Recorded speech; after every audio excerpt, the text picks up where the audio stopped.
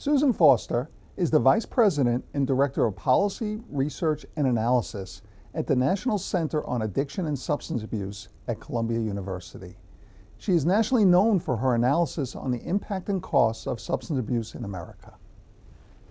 Ms. Foster, can you share with us the findings of your research in regard to the gap between science and practice as it pertains to addiction medicine? In uh, this summer, uh, CASAColumbia released a five-year study uh, looking at addiction medicine. The title is Addiction Medicine, Closing the Gap Between Science and Practice. The purpose of this study was to understand what we know about the science of addiction and then to look at what the relationship is between that and what we're actually doing to prevent and treat it. So we looked at the science, we did surveys, we did an analysis of many na national data sets, um, and we also talked to a lot of people who are engaged in this work.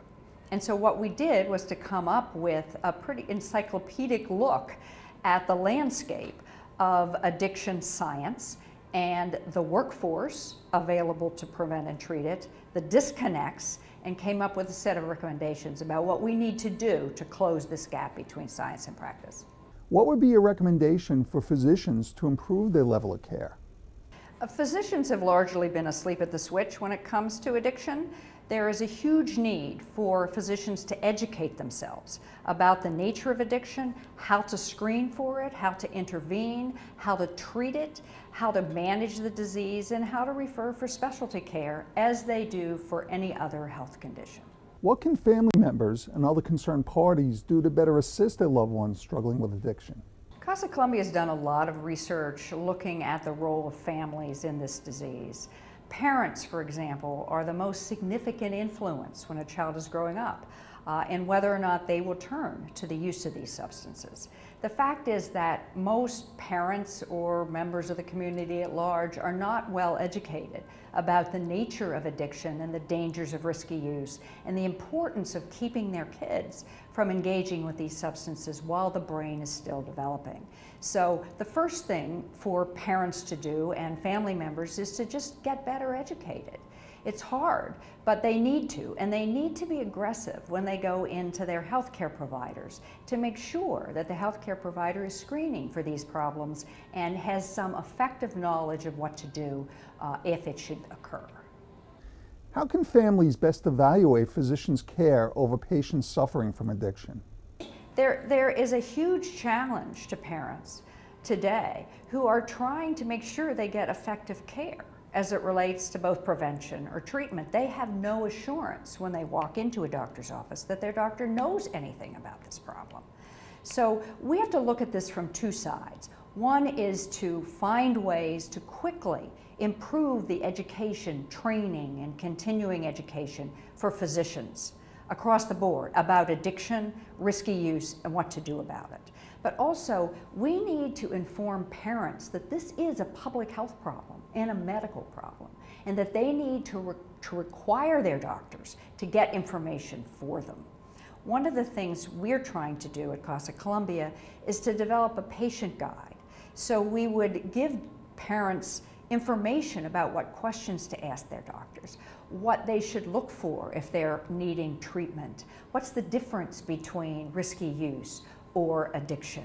Just basic information that will help them navigate the health system when it comes to these issues. Ms. Foster, your research study concluded that only one out of 10 persons dealing with addiction receive help. Could you elaborate on that finding? Only about one in 10 people with addiction just involving alcohol and other drugs gets any form of treatment. That doesn't even include treatment for nicotine addiction. We don't as a country even know how many people get treatment for that. But if you think that it's one in 10 get treatment for alcohol and other drugs compared to 70 to 80% of people with other conditions like cancer, diabetes, or heart disease actually get some kind of care. That's a dramatic disconnect. And it's a function of several things. One is that addiction historically for decades has been marginalized as a social problem rather than treating as a medical condition, even though the AMA in the 50s recognized addiction involving alcohol as a disease. So we, we know this, this huge disconnect exists. What can be done to bring about a national standard for addiction treatment? Yeah, the, the tragic reality is that there are no national standards for addiction treatment in this country. What passes for addiction treatment varies by state and by who pays the bill. There are few restrictions on who can hang out a shingle and say, I'm going to provide addiction care. Largely, addiction is disconnected from mainstream medical care, so it's not even acknowledged through many regulators as medical care. So, what we have to do is move the way we address this problem into medical practice, we need to license addiction treatment providers as healthcare facilities. We need to develop core clinical competencies for providers that are based on scientific evidence.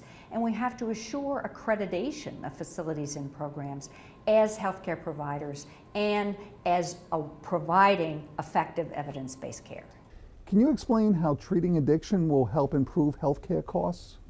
Right now, we are, we as a society, are paying at the back end because of our failure to prevent and treat addiction. We're paying, of every dollar federal and state governments spend on this program, just look at government spending, it's about $467 billion every year.